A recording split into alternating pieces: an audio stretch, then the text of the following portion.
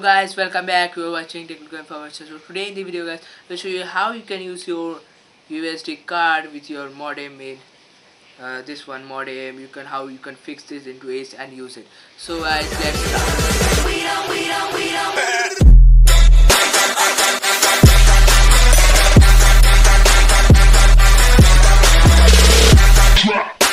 So here is it.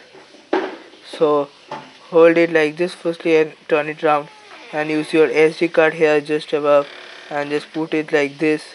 I press it and this all and I will show you now I'm turning to screen recorder. So what we're gonna do is this. Putting this in our desk. Then let's start